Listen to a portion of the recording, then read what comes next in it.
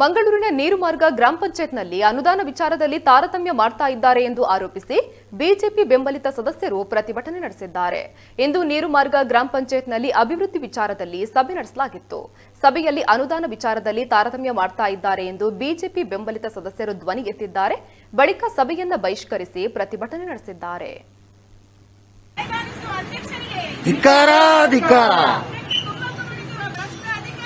ಧಿಕ್ಕಾರ ಭ್ರಷ್ಟ ಅಧಿಕಾರಿಗೆ. ಭ್ರಷ್ಟ ಪಂಚಾಯತ್ ಅಧಿಕಾರಿಗೆ. ಧಿಕ್ಕಾರ ಧಿಕ್ಕಾರ ಪಂಚಾಯತ್ ಅಧ್ಯಕ್ಷರಿಗೆ ಧಿಕ್ಕಾರ ಪಂಚಾಯತ್ ಸದಸ್ಯರಿಗೆ ಕಡೆಗಾಣಿಸುತ್ತಿರುವ ಅಧ್ಯಕ್ಷರಿಗೆ.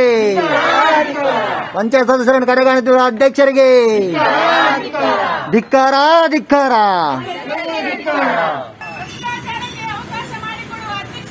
ಧಿಕ್ಕಾರ ಧಿಕ್ಕಾರ ಪಂಚಾಯತ್ ಸದಸ್ಯರನ್ನು ಕಡೆಗಾಣಿಸುವ ಅಧ್ಯಕ್ಷರಿಗೆ ಧಿಕ್ಕಾರ ಧಿಕ್ಕಾರ ಧಿಕ್ಕಾರ ಭ್ರಷ್ಟ ಅಧಿಕಾರಿಗೆ